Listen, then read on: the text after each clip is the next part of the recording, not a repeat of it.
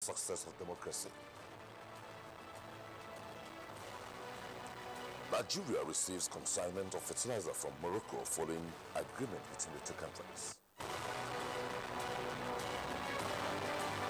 In an effort to ensure food sufficiency in the country, federal government inaugurates management team of 12 river basin development authorities. It's good to have you join us on the news on NT International. Omini Oden is my name. A nationwide micro, small and medium enterprises clinic for viable enterprises has been launched in Abuja Initiated by the Office of the Vice President, the SMEs Clinic is aimed at providing on-the-spot solutions to problems being encountered by stakeholders in the sector. It's in line with the Buhari administration to focus on the micro, small and medium enterprises as an integral strategy of building a productive and self-sufficient economy for Nigeria. That our agencies were yet to buy into a major pillar of our economic recovery plan, which is to make it easier to do business in Nigeria. It's there, it's there. There's also an indication that we need to do something to change the orientation of our various agencies. Instead of being merely revenue generating agencies, the various agencies must see themselves as facilitators of business first. An agency of government that is meant to grant approvals for business must see itself first and foremost as a facilitator of business. The moment we lose sight of that as being our primary objective, then we've lost the focus completely. Then we're no longer active participants in the economic uh, plans and growth of the nation. We have set ourselves up as something else. We become obstacles. President Muhammadu Buhari has represented to the Senate the name of Ibrahim Magu Mustafa for confirmation as Executive Sec Chairman of the EFCC. In letter read by the Senate President, the President stated that his rep rep representation, he represented the name after careful and thorough investigation into the security reports raised. In another development, another letter to the Senate, President Muhammad Buhari addressed the alleged misconduct of the Secretary to the Government of the Federation, Babachir Lawal, stating that the SGF and companies indicted have not been given fair hearing. The Chief Justice of the FCT, High, High Court Justice Ishaq Bello, has warned telecommunication service providers to desist from turning the phones of their customers into billboards for unsolicited adverts. This was part of his judgment in a case that was brought against MTN for illegal deductions for unsolicited caller tunes. Judiciary correspondent Femi Okewo reports. A lawyer, Ezugu Emmanuel Aneni, in October 2014 dragged the MTN telecommunication service provider to court for illegal deductions for unsolicited caller tunes. The court action came after various correspondences between the plaintiff and the service provider, during which the court established in evidence that MTN, in one of its letters to the plaintiff, admitted to the deduction as payment for the unsolicited caller tunes, but went ahead to send what it called 700 naira bonus to the plaintiff for his eight years patronage after he complained. Chief Judge of the FCT, Justice Ishaq Bello, in his judgment said the 700 naira bonus did not amount to a compensation for the breach of the plaintiff's quiet enjoyment. The court then ordered MTN to pay a 5 million naira damage for disrupting the peace of the customer through the unsolicited caller tunes and deduction, with a 500,000 naira cost for the case. Justice Ishaq Bello also ordered for such extortions to stop forthwith, while warning service providers not to impose adverts and unsolicited services on their customers. We wanted more, but it doesn't matter how much is awarded. What is important is that we have proved our case and they are put on injunction to restrain from further unlawful deductions. Mm, most likely we would have to appeal it. Okay. Most likely we would appeal. In law, matters like these are classified as public interest litigation. This is because not many people would wish to take up a 50 naira deduction in court, just as a lot of people would also think that taking up a legal battle against a big multinational like MTN is a futile step. This judgment will go a long way in standing in the stead for people like that. From the FCT High Court, Femi Okeowo, NTA News. The Central Bank of Nigeria Monetary Policy Committee rose from its first meeting in 2017 to announce the retention of the benchmark lending rate at 14% in order to sustain progress being made towards revamping the economy. Governor Central Bank of Nigeria Godwin Emefiele who announced this at a media conference after a two-day meeting says early passage of 2017 budget and public-private partnership will remain key to economic growth. Finance and economic correspondent Cliff Ayoze reports. Retain MPR at 14%, retain the CRR at 22.5%, retain the liquidity ratio at 30%, and retain the asymmetric corridor at plus 200 and minus 500 basis points around The committee says the position was taken to sustain the economic growth trajectory, having reassessed the headwinds in 2016 and opportunities in 2017 globally and nationally.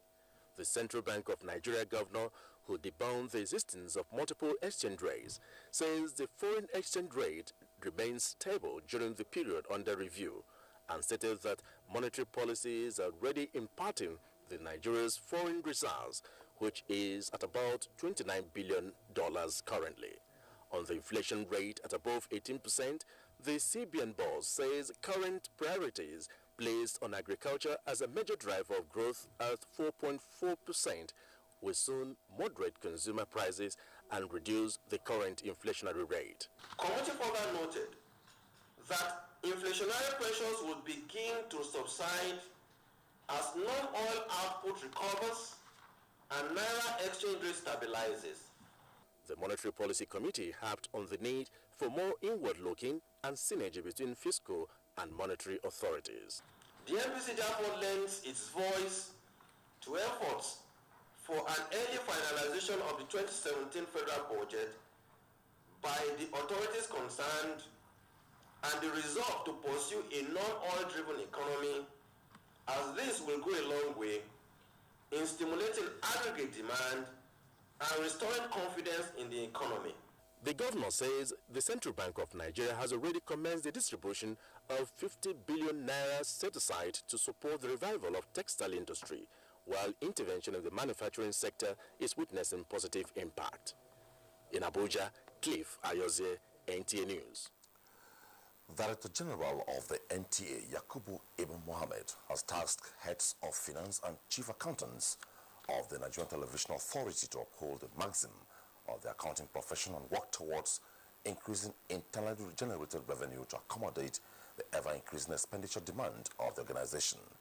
The DG gave the charge at a meeting for the authority's heads of finance holding at the NTA headquarters, Abuja. Participants were also intimated on the huge financial demand of the digital switchover. The Director General praised the participants for ensuring that the NTA is among the only 21 ministries, departments and agencies of government that were able to fulfill their financial obligations. The meeting, which was convened by the Executive Director of Finance and Administration, Philip Ofegbu, brought together NTA's accountants from across the nation. Business experts around the world still believed that multinational trade agreements and activities is key to facilitate trade and investment, especially among the developing nations as key to economic development. Guests who are delegates at the World Economic Forum in Davos, while on NTA program Good Morning Nigeria, say Nigeria, as a member of the World Trade Organization, is leading the African continent in trade facilitation. Saliu Abdullahi reports. The guests say Nigeria's commitment towards global economic growth is not in doubt, as she is the 107th country in the world to have signed the trade facilitation agreement. They said the move shows federal government's resolve to enhance economic recovery, infrastructure development, promote small and medium enterprise. over the years, Nigeria has been undermarketed. You know, let's say we've not been showcasing what we have. And in fact, this meeting led to the formation of what could be called uh, a special team on Project Nigeria. Uh, that team is made up of uh, the ministers and uh, those in the private sector to showcase the great opportunities that are bound in different sectors of Nigeria.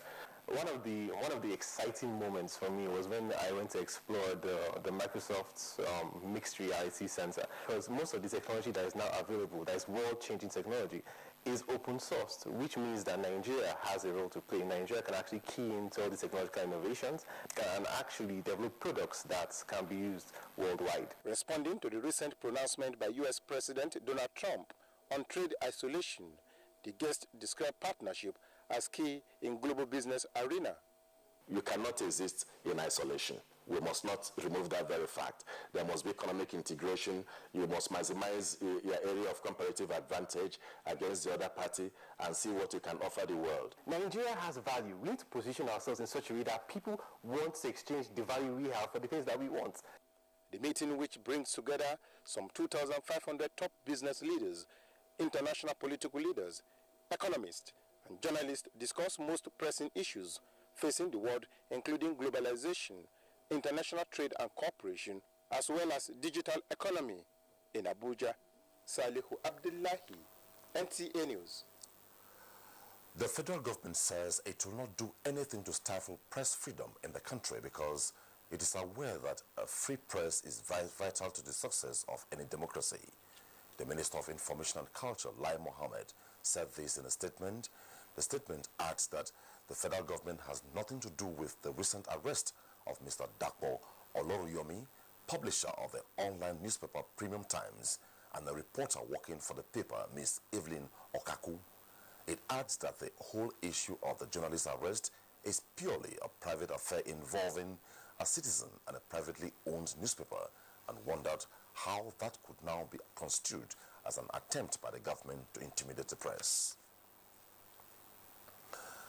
The Minister of Information and Culture, Lai Mohammed, has directed the National Broadcasting Commission, NBC, to investigate the circumstances surrounding the reported shooting in South Africa of the ongoing Big Brother Africa Nigeria reality show. In a statement in Abuja, the minister says the NBC should determine whether multi-choice by shooting the show in South Africa has breached the Nigerian Broadcasting Code and possible deceit, since the viewing public was never told that the event will be staged outside Nigeria.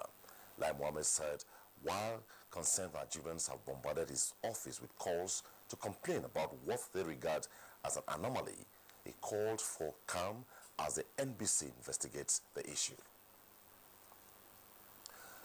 The Presidential Committee on Northeast is soliciting for agricultural input for the displaced people of the region.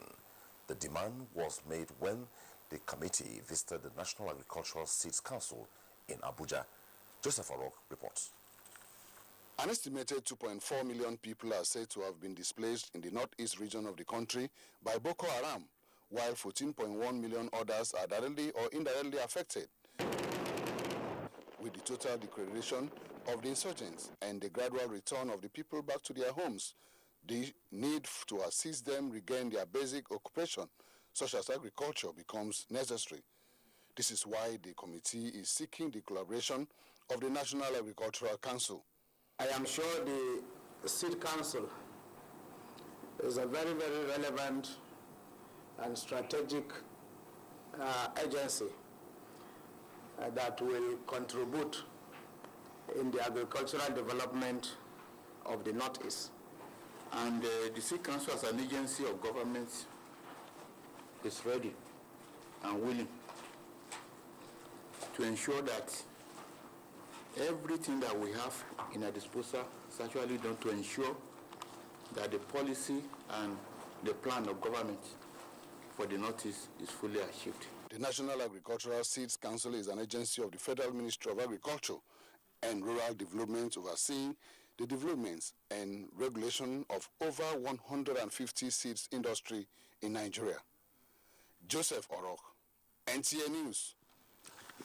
Minister of Youth and Sport Solomon Dalung has assured Nigerians of the safety of all prospective corps members as they begin their orientation course. The minister gave the assurance while inaugurating four utility vehicles at the NYSC headquarters in Abuja. Olainka Ojo reports. The Sports Minister Solomon Dalung said government has put in place machinery to ensure the safety and protection of lives of youth corps members as the scheme, a national project, is dear to the heart of the present administration.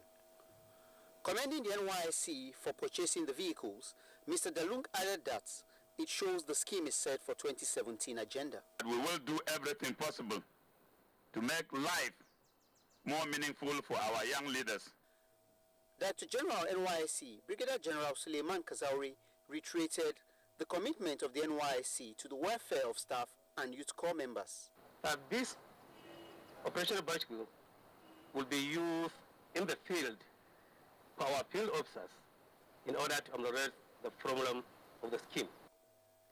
This is the second time in two years that utility vehicles for field operations were procured. In Abuja, Olainka Ojo, NTA News. You are watching NT International News from Abuja, Nigeria. Stay on for more reports when we return.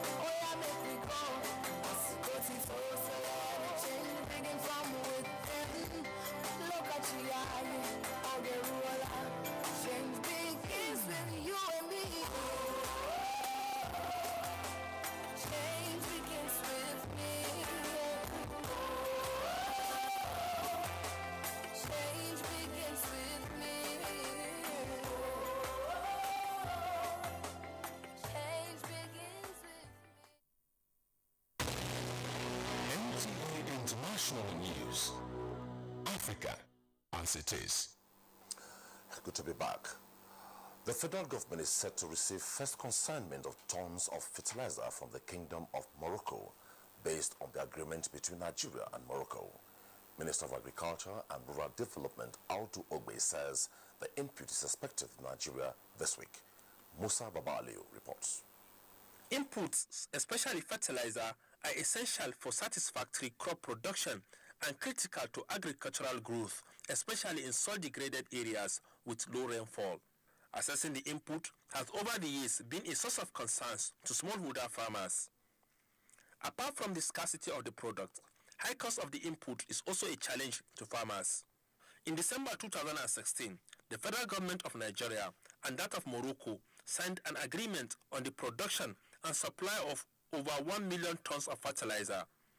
The Minister of Agriculture, Audu Ogbe, says Nigeria is expecting over 700,000 tons before the end of 2017. The only other thing we want to ensure is that every blender in the country who has capacity, even though those whose machines are not in order, we're going to support so they can put their machines in order so the blending takes place almost everywhere in the country so the farmer can have access to his fertilizer at the lowest possible cost. The minister said efforts are underway to address the ban on the movement of fertilizer in the northeast due to Boko Haram activities. In Abuja, Musa Baba Aliyu, NTA News. Still from the agricultural sector, the federal government is walking the talk in the resolve to reposition the River Basin Development Authorities towards ensuring food sufficiency in the country. To this end, the Minister of Water Resources, Suleiman Adamu, has inaugurated the management teams of 12 River Basin Development Authorities. Musa Musbal Danwahab reports. The search for the lost glory of the River Basin Development Authorities continues. Seemingly, these are the change agents identified and approved by President Buhari to revitalize and change the fortunes of the RBDAs in line with the diversification agenda. Water Resources Minister was point blank in giving a marching order of redirection to the new management teams. The new management team of the River Basin Development Authorities are now tasked to turn around the performance of the agencies to become more efficient in the delivery of established mandates. Apart from provision of sustainable access to safe and sufficient water for multi-purpose use, control of floods and erosion, the RBDAs with the dams in their custody are needed to support agriculture through provision of water for irrigation. Another task added on is to ensure the success of government partnership with Songhai farms to empower youth graduates through agriculture on the platform of the basins.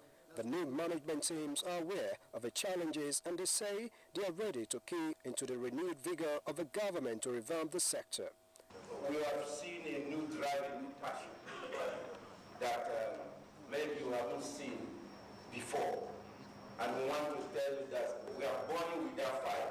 Meanwhile, process towards partial and eventual full commercialization of the RBDAs is still ongoing. In Abuja, Musbal and Wahab, NT News. For happenings around the world, Adebola Brooklyn Sunday is our guide. Our national flag will now fly high the Gambian President Adama Barrow has named senior politician Fatoumata Tambajang as deputy leader. Presidential spokesperson Halifa Sallah said the announcement of Tambajang's appointment will be followed by the unveiling of the rest of Barrow's cabinet. Tambajang, a former minister and United Nations Development Program staffer, was the architect of an opposition coalition that helped Barrow defeat longtime ruler Yahya Jammeh in December 1 presidential election. Meanwhile, the UK Supreme Court has ruled that Prime Minister Theresa May must get Parliament's approval before beginning formal exit from the EU. The UK's highest judicial body dismissed the government's argument that May could simply use executive power known as royal prerogative to invoke Article 50 of the EU's Lisbon Treaty. And the US President Donald Trump has signed an executive order formally withdrawing the country from the Trans-Pacific Partnership Trade Deal, TPP, following on a promise from his presidential campaign. In the same ceremony, Trump also signed an order imposing a federal hiring freeze, with the exception of the military. Additionally, Trump signed a directive banning U.S. aid or federal funding for international non-governmental organizations that perform abortions abroad. Adebola, Brooklyn Sunday, NTA News. On sports update, Nigeria Professional Football League set for week four matches midweek as some top stars cruise into the semi-finals of the Australian Open in Melbourne.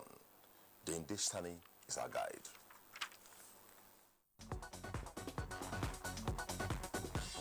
Nigerian Professional Football League enters week four Wednesday